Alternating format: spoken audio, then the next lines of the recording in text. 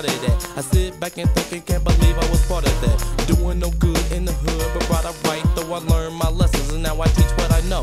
My good always shine through, so I wasn't so bad, but I can remember some of the fun we had. Not always the right thing, and maybe not legal. We did a little dirt, but we never killed people. Just some young kids doing dumb stuff. We had the type of crew that hardly ever got bum rushed, but I can recall one day in the fall when we was at scooters and we had to brawl. Jerry Slam Brothers, James put up the walls and get the big dude, get the big dude is what they call. But that's a memory not fun for D. And it all started over my big baggy jeans. Cause This is where it started at. This is where it started at. This is where it started at. This is where it started at. This is where it started at.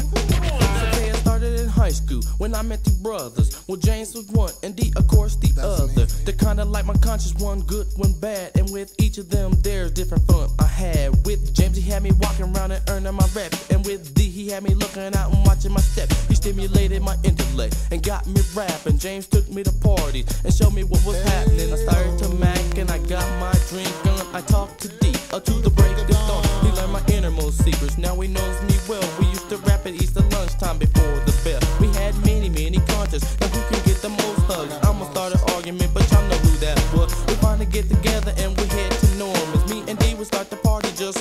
performing. This is where it started at.